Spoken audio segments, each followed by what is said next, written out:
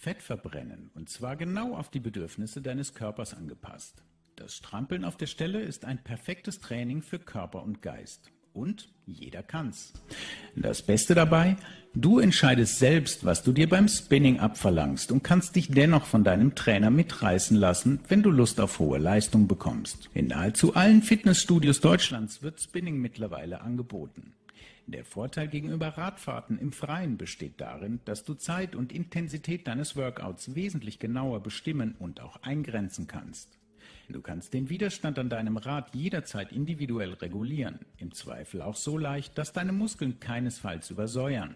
Versuche einfach ohne Leistungsdruck nach und nach eine Sensibilität für die Bedürfnisse deines Körpers zu entwickeln.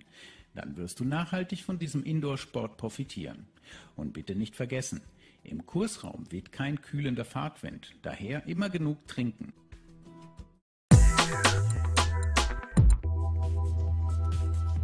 Ist der Sitz viel zu hoch eingestellt, kommt es beim Training zu einer Streckung im Knie, die das Gelenk auf Dauer schädigen kann.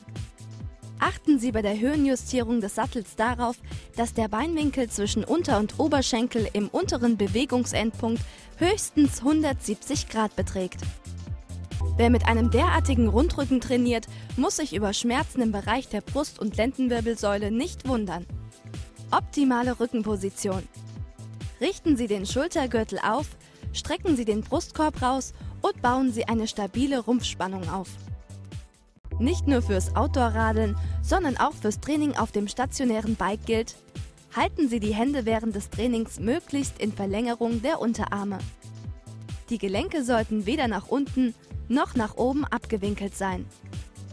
Besonders wenn Sie mehrmals pro Woche trainieren, riskieren Sie sonst auf Dauer Gelenkschmerzen oder taube Hände. Bei einer zu tiefen Sitzposition können Sie die Beinmuskulatur nicht in voller Bewegungsamplitude austrainieren. Außerdem wirkt sich ein zu kleiner Trainingswinkel im Knie negativ aufs Gelenk aus. Der Winkel zwischen Unter- und Oberschenkel sollte in der oberen Position 90 Grad nicht unterschreiten.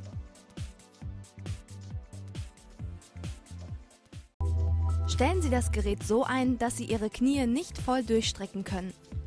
Der Lenker bietet häufig mehrere Positionen an. Variieren Sie gern zwischen aufrechter Sitzposition und Rennhaltung, dann aber auf einen gestreckten Rücken achten.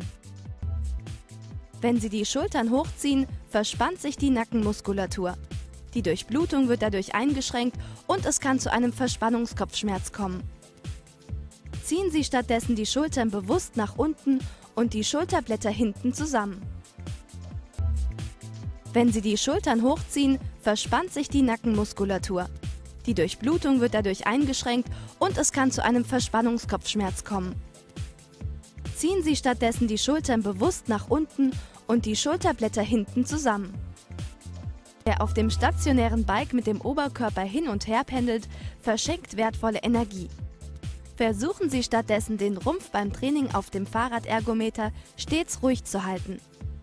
Schließlich ist reguläres Radeln ja auch keine Seitwärts, sondern eine Geradeausbewegung.